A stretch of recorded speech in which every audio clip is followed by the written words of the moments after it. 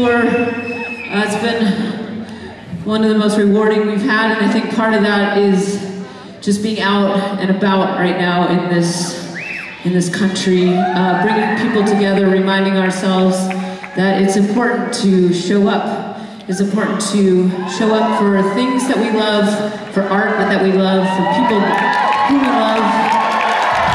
It's important to show up at the polls and vote for politicians who are willing to take care of people here in America, people who want to come to America, people who deserve to be here, people who are willing to fight to dismantle systemic injustice and to vote out people with moral cowardice. So thank you for showing up.